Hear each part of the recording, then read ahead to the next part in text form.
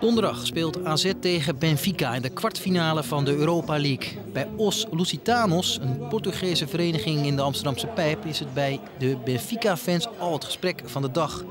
De conclusie is bij iedereen hetzelfde. Kijk, als je het in Lissabon of in Portugal of ergens anders in Europa of in de wereld hebt over AZ, het spreekt eigenlijk niet tot de verbeelding. Want jullie zijn niet bang voor AZ? Nee, niet bang. Nou, denk is uh, Benfica door. Ja, AZ mooie ploeg, mooie mensen, mooie kaas. Lekker kaas, maar uh, niet zo sterk voor Benfica. Denk... alleen lekkere kaas. Alleen een lekkere kaas.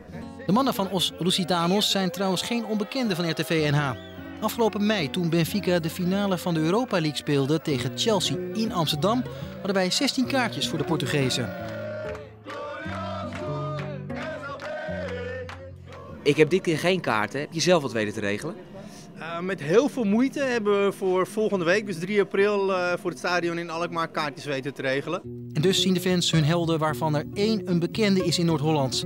Hij is nog altijd de duurste aankoop aller tijden van Ajax en eveneens een van de grootste miskopen, Miralem Soleimani.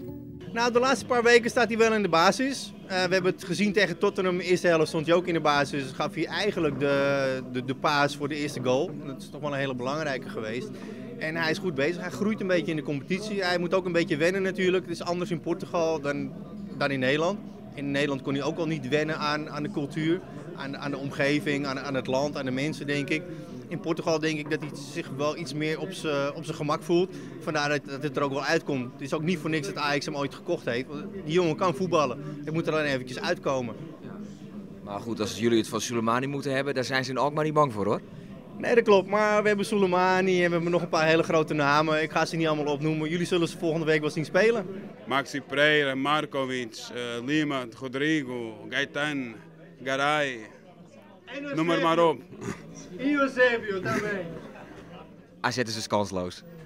Uh, de bal rolt bij, beide kanten, maar Benfica maakt uh, 85% kans. Ja. En waar het nu nog relatief rustig is bij Os Lusitanos is het er donderdag één rode zee van Benfica-fans die vervolgens doorreizen naar Alkmaar. En tot die tijd mijmeren de supporters nog wat door wat betreft de kansen van AZ. Deze jaar niet zo uh, goed als uh, vroeg.